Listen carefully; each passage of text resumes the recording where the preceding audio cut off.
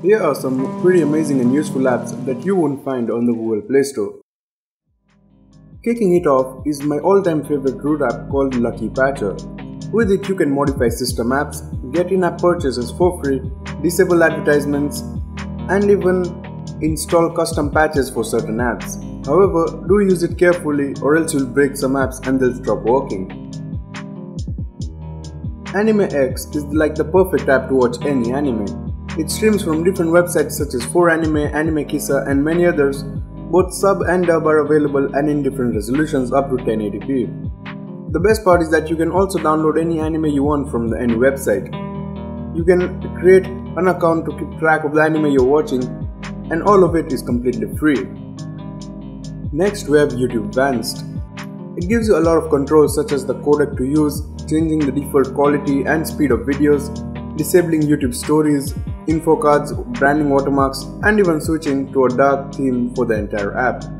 You can also enable swipe control for brightness and volume. The main reason I use it though is because it allows playing YouTube in the background or minimized. A shout out to today's video sponsor, TechScore.com. Create a free account today to earn points while shopping from major online stores.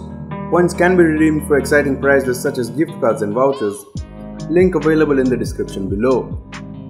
If you want to keep up with the latest tech news, then the XDA Labs app is a must-have. You uh, get the latest articles whether it's about gadgets, apps or custom ROMs, basically everything. There's a page full of apps that are not available on the Play Store and you also get tons of Xposed modules to download from and a few ultra crispy wallpapers. There's a special section for your device and you get everything related to it such as custom ROMs, mods, themes and even an entire forum. Videoder is the app I guess will come in handy to everyone watching. It basically lets you download video and audio from any website you can think of, whether it's YouTube, Facebook, Instagram, TikTok, SoundCloud, or even if it's those dirty sites you don't want to be caught watching. You can download in different resolutions and even in different formats. This app works like a charm.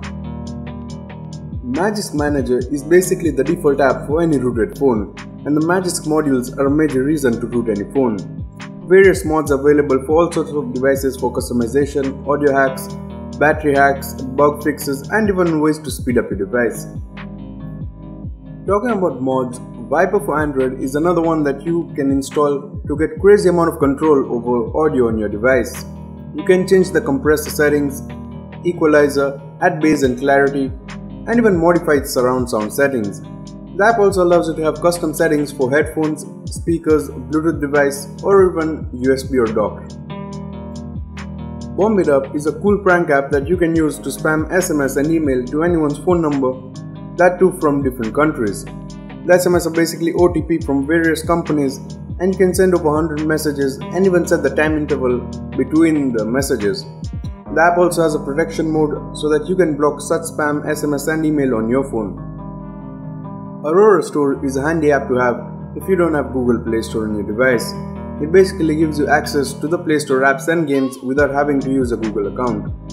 You also receive regular updates and there are a few extra features such as spoof device, language or location in case you want to maintain privacy while downloading and installing apps and games.